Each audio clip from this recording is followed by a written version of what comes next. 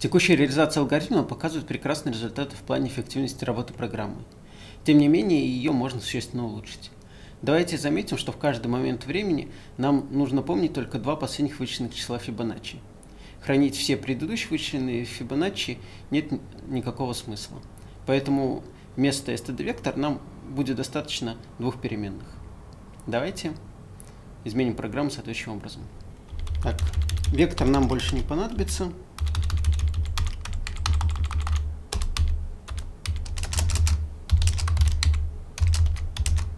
Если n не превосходит 1, можно вернуть n.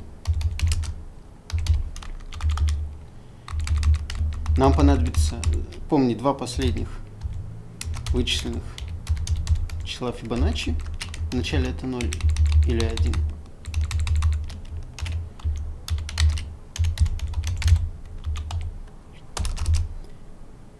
После этого нам нужно посчитать сумму двух предыдущих чисел Фибоначчи.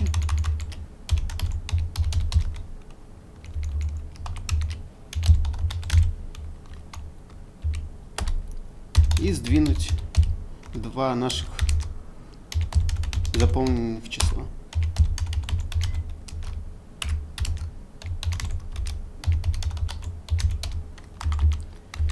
Вернуть нужно наше текущее число.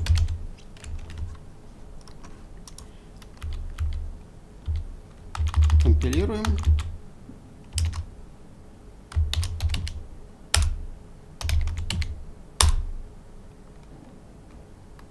Проверяем, что программа работает. И измеряем время работы программы.